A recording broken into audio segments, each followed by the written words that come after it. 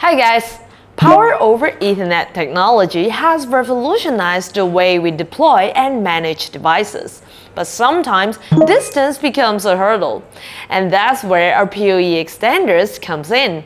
And in this video, we are going to dive into everything that you need to know to make an informed decision when selecting the perfect PoE extender for your specific requirement.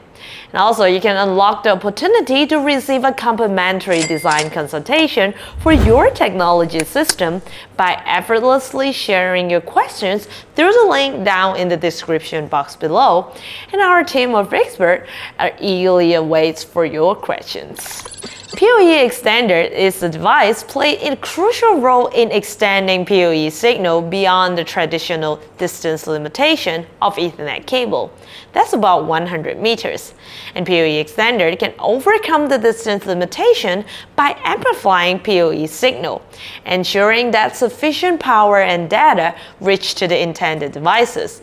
And by boosting the data, PoE extender enable the use of standard Ethernet cable to extend the reach of PoE-enabled devices, such as security cameras and wireless access point, without compromising performance or requiring additional power sources. And PoE extender and also provide greater flexibility, coverage, and cost effectiveness in various networking and surveillance scenarios. PoE extender has two different types. We have the PoE extender that can provide both power and data at the same time. We also have the data extender that focus solely on extending data transmission without providing power. So when it comes to selecting the PoE extender, there are several factors to consider to ensure it meets your specific requirement. First, determine if you are transmitting data only or PoE. Second, determine the maximum distance between your switch and your edge devices. Third, the port configuration or the number of the port that you need. Four, the power budget and voltage requirement. So now I'm going to showcase a few of the PoE standard and explain the details. First, I'm going to introduce you to our Ethernet extension kit. This kit offers cost-effective way to expand your Ethernet network beyond 100 meters, providing seamless connection between devices. The kit includes a PoE extender and a PoE injector, and is compatible with wide range of devices. This kit can only support data transmission, but up to 1,500 feet, that's about 500 meters when using two extension kit. And there will be nothing else in between, only a single Ethernet cable. I'm going to showcase the connection later using two of this kit.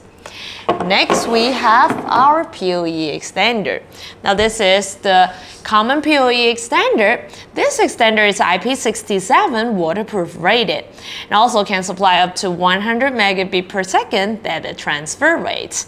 And also is compatible with IEEE 802.3 AF, AT, and BT standard can support up to 60 watts of power output. With the plug and play feature, it's easy to install. Just plug it and you can use it. Next, we have the outdoor waterproof 802.3 BT PoE extender. This extender has two PoE port, allows one PoE in and two PoE outs to meet IP cameras with gigabit Ethernet and 30 watts high power output. This is IP67 waterproof rated, but then only one PoE cable is needed if you're demanding for supporting two remote IP devices at the edge. Last but not least, we have this 95 watts two-port PoE extender with 60 watts output, reliably extend the Ethernet port to install IP cameras in extreme harsh environment.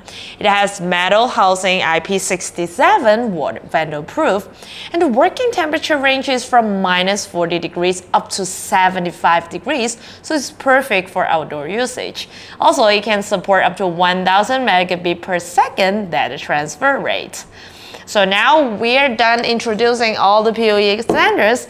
Let's do the connection together. As you can see, everything is in position. Now I'm going to do the connection with two routers and 500 meters Ethernet cable in between. First, I'm going to use a short patch cord here to connect the router to our PoE extender. Let's take the gland and the neck out for easy installation. Plug it in here.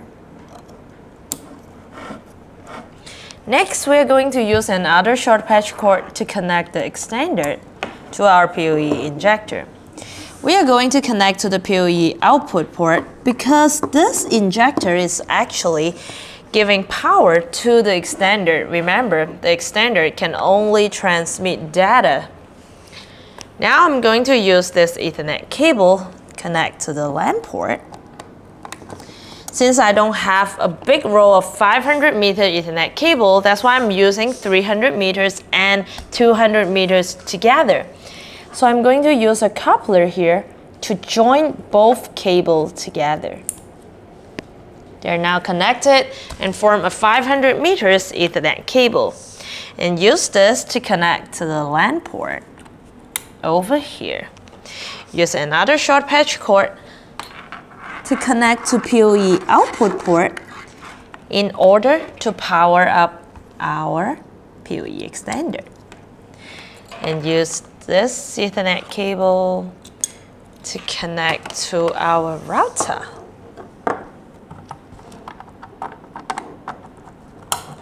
Just like this. So this is how we set up a 500 meters continuous Ethernet run with two extension kit. As you can see, there's nothing else in between, only the Ethernet cables. And here are a few more considerations while selecting the PoE extender. First, PoE standard. You have 802.3 AF, AT, and BT standard, and different standard can provide different power output. Second is the data transmission rate. We have 10, 100, and 1000 megabit per second to choose from. Last but not least, environmental consideration. If you're putting your extender outdoor, make sure you choose one that's waterproof rated and have different operating temperature range. Now, for its alternative solution, here's a video on how to use a long-range PoE switch to reach up to 1,600 feet continuous PoE transmission. Thank you very much for watching.